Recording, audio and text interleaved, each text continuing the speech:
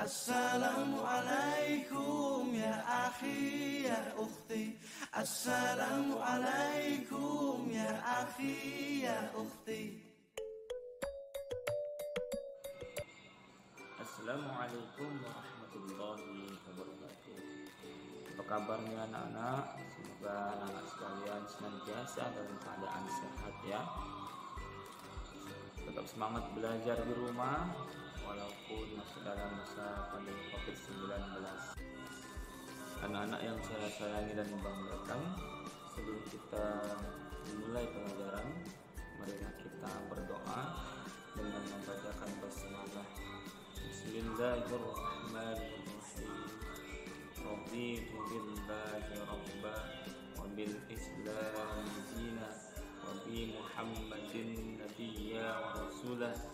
bi Rabbi zidni ilma warzuqni fahma wa amalan salihah birahmatika ya arhamar rahimin Anak-anak yang saya sayangi dan banggakan, pada pertemuan ini Bapak akan menyampaikan materi pelajaran agama Islam tentang memahami hadis yang berkaitan dengan perilaku bersih dan sehat.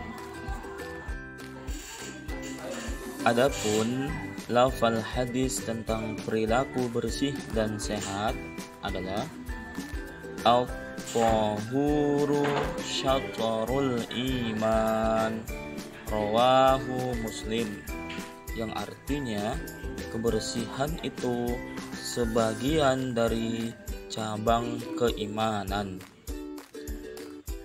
Bersih artinya bebas dari kotoran Perilaku bersih dan sehat seperti kebersihan badan dan pakaian, tempat tinggal, sekolah, dan masjid.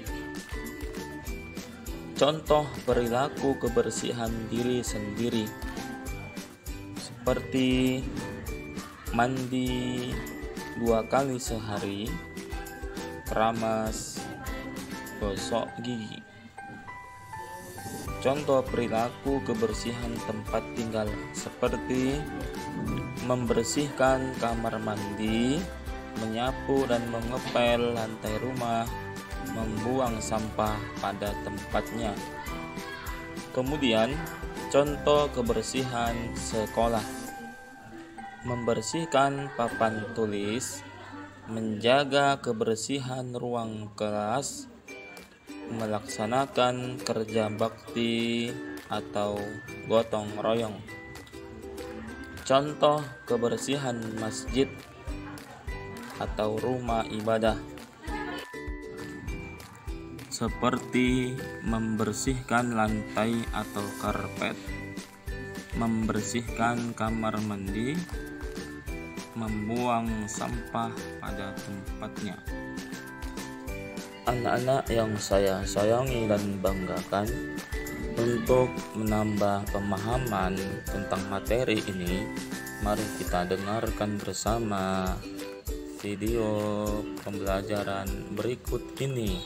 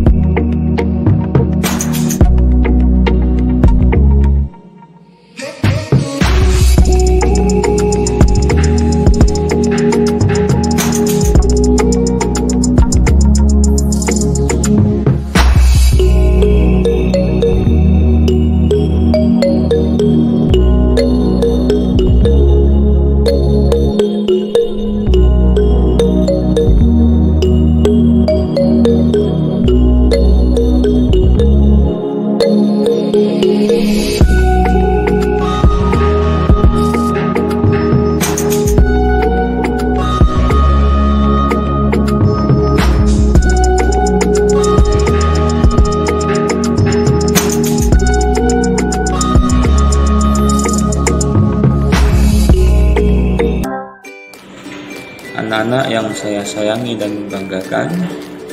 Demikian materi yang Bapak sampaikan pada pertemuan ini. Semoga anak-anak sekalian paham dan mengerti. Harapan Bapak pada anak-anak Bapak rajin belajar di rumah, rajin membaca buku, dan rajin mengerjakan tugas-tugas yang Bapak berikan. Sekian dan terima kasih. Assalamualaikum warahmatullahi wabarakatuh.